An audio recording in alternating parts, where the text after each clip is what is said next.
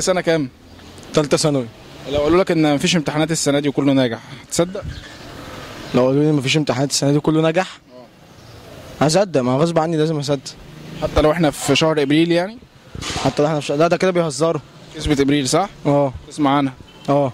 طب قول لي إيه الكذبة اللي حصلت لك قبل كده بالمناسبة دي يعني؟ من سنتين في بنت دخلت قالت لي عامل إيه وكنت عايز كنت عايز أكلمها. دخلت قالت لي عامل إيه وازيك كنت عايز أتكلم معاك قلت لها بجد قالت لي لا دي كسبة إبريل. قبل ما ابعت لها المفروض تعمل لها block. لا هي قبل ما أنا ابعت لها لا هي كانت شتيمة.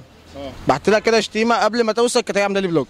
آه. يعني هي وصلها شتيمة بعد كده الثانية حصل block. لا ما هي ما لحقتش توصل. بنت الكلب. المهم نسيتها ولا لسه؟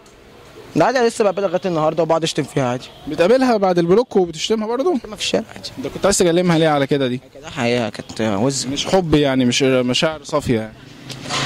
حاجات حلوة كده كانت. لكن هي جامدة يعني. فشخ. طب لو هتكذب على الناس اللي في حياتك الشخصية كذبة هم مش هيصدقوها وانت عارف انها مش حقيقة عنك هتقول لهم إيه؟ والله من أنا محترم. فأنت تفتكر بقى الكذب ده طلع بمناسبة إبريل ولا هو كذب طبع في دمنا أصلا؟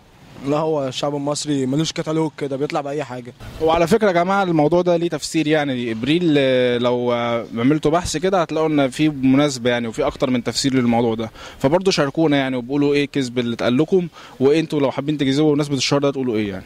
مش مش